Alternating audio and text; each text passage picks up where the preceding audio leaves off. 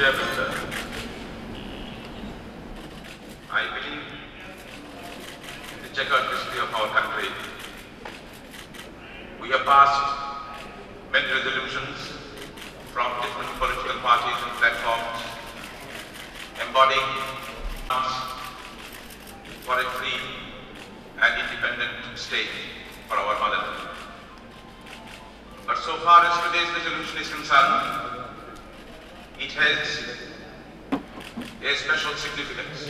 In fact, the Honorable Mover of the resolution reminded us, is a solemn and a sacred trust which we Indians have agreed to perform and we propose for ability.